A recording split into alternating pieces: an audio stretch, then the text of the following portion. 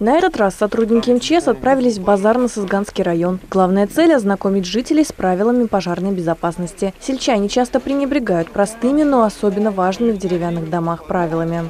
Сегодня он непосредственно проходит э, в базар на Сызганском районе связи с тем, что у них э, рост э, пожаров в сравнении с аналогичным периодом прошлого года.